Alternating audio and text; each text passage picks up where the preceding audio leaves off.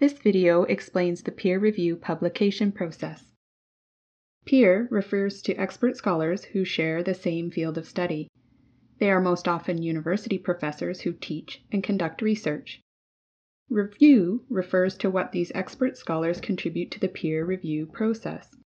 They evaluate other scholars' research publications for accuracy, innovation, and scholarly standard. Peer review ensures that scholars, from students to professors, can access and use high quality research. Let's walk through the peer review process. Professor Alexis Jordan is a psychology scholar. She has conducted research on children's language acquisition through play. Now it's time to write a paper about the results. In her paper, Professor Jordan writes about her research project.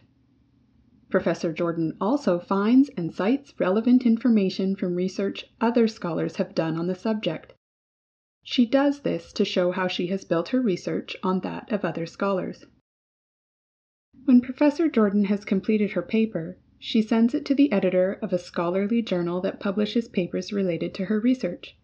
The editor either rejects the paper or decides to submit it for peer review. The editor decides Professor Jordan's paper is strong enough to be sent on for blind peer review. This means the editor sends it to other scholars who don't know who wrote the paper. The peer reviewers, who are also child psychology scholars, evaluate Professor Jordan's paper. Then the reviewers have three choices for the paper reject, accept, or accept with revisions.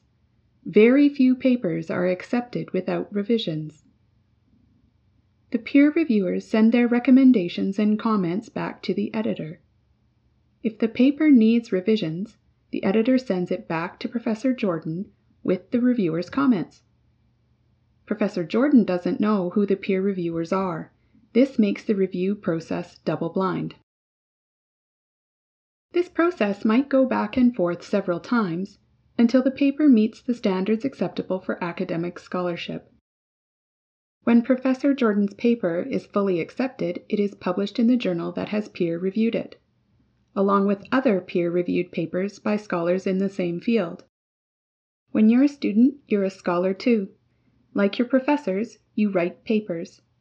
You decide on a topic and conduct research on that topic.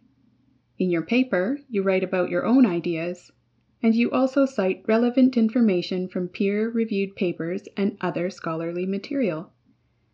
You do this to show how you have built your research on that of other scholars. Your work isn't peer reviewed, but it is reviewed and evaluated by your professor.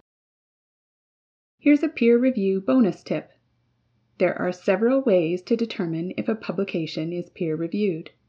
When you're searching, look for these words peer reviewed, refereed, scholarly. You can also look up the journal website and its publishing process.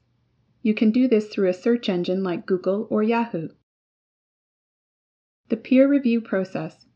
It's a quality control system for scholarly publications, and it ensures that your own research is informed by credible sources.